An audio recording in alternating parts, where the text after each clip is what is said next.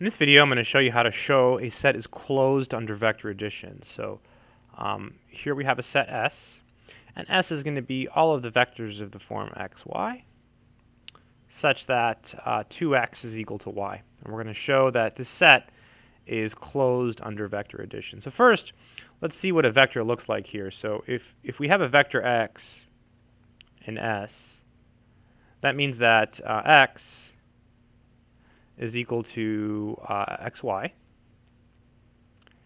and uh, 2x is equal to y.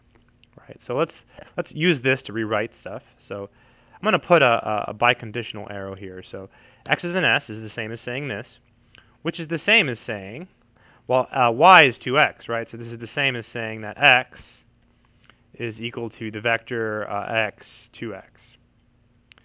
And the reason I'm doing this is because I'm using x and y here, and I want to simplify this to make it a little more clear when we do the proof.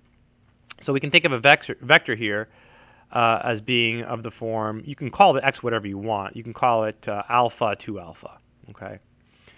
So whenever we take a vector x and s, we can say it's of the form, you know, alpha 2 alpha or beta 2 beta, right, for alpha, a real number. All right, so let's prove this set is closed. So to prove it's closed, what we have to do is we have to take any two vectors in this set and show the sum is in the set. So take any x, y, and s. And the claim is that if we add these vectors, they're also in S. So claim that x plus y is an S. That's what it means to be closed under vector addition, right? So we have to show. So now what you do in these problems, always, no matter what, is you, you write down what this means. So let's clarify that. So since x, y are in S, then, well, we talked about it before we did the problem, right up here, right? We talked about it. We said that if, if x is in S, then x is of, of this form here. So then x is of the form alpha 2 alpha, and y is of the form beta to beta, okay, for some alpha beta real numbers, right? So that's what it means for x, y to be an S. Now we have to look at the sum and show that that is an S. So then, so then x plus y, let's just write down what that means. Well, you just add the components, right? So it'll be alpha plus beta, 2 alpha plus 2 beta.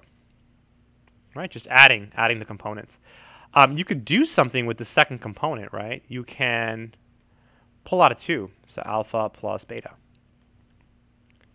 And now it meets the form, right? It's alpha 2 alpha. You can think of this as like gamma or something, right? So it's gamma 2 gamma. You can think of this as gamma 2 gamma,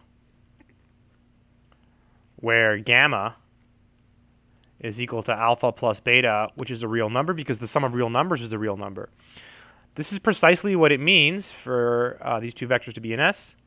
So x plus y is an S. And this shows it's closed under vector addition. What is this set, by the way? This is the set, uh, this is the graph of all, all the vectors on this line. So if you take two vectors on this line, y equals 2x, and you add them, you get another vector on the line. So the line is closed under vector uh, addition. So kind of a of a cool example. Uh, I hope this video has been helpful to someone out there in the world. That's it.